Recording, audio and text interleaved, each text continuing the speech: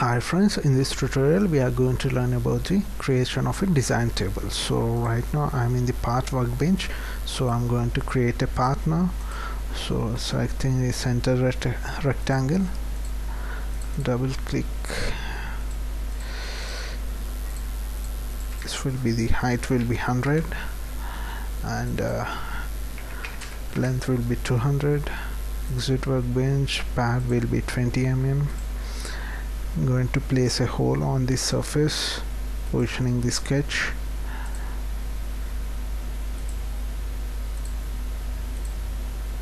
This will be 20 and uh, same the height will be will be also same 20 mm.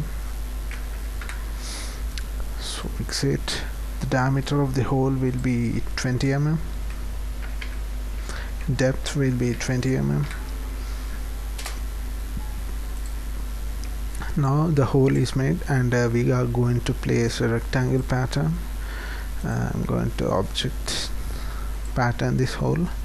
Reference element will be the surface reverse direction 5 instances and uh, distance from the hole from center to center will be 40 mm preview. So second direction instances will be 3 and the spacing will be 30 mm from center to center okay. So in this way we have created a part with some features. So now we are going to apply design table for this. So in knowledge toolbar you will be having a design table. Select this. There are two options. Create a design table from pre-existing file. Create a design table with current parameters value select the second option. Click ok. So after clicking ok select parameters to insert dialog box appears.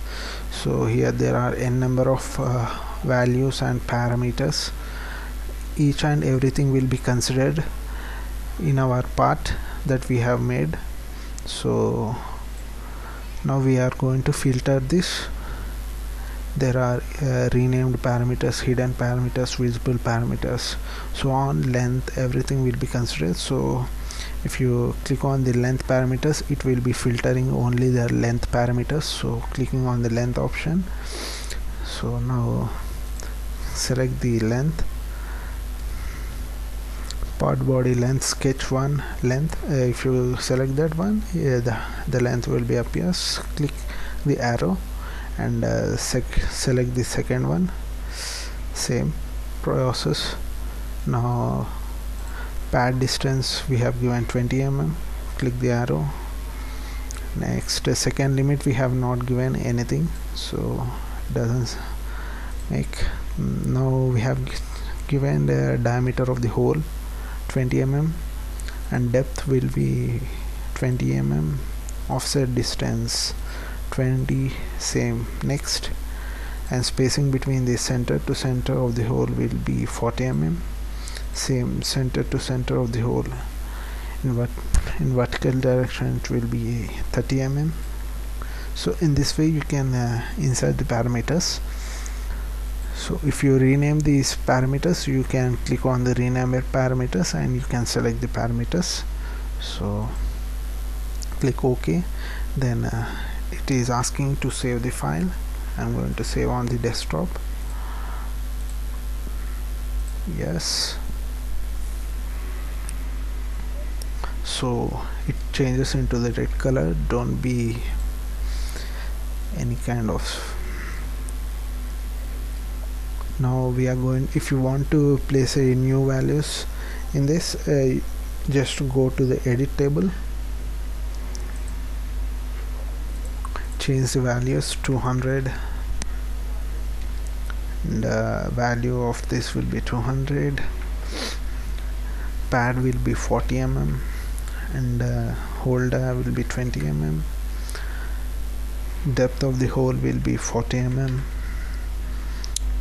this will be 25 edge distance and uh,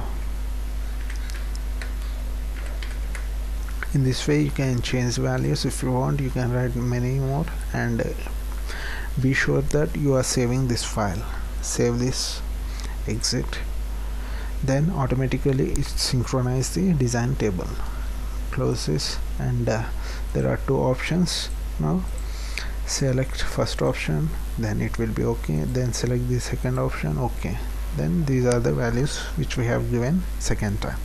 So in this way you can create a design table. If you have any doubts you can comment on this video. I will be in touch with you. Hope you like this video. Thanks for watching. Have a nice day. Bye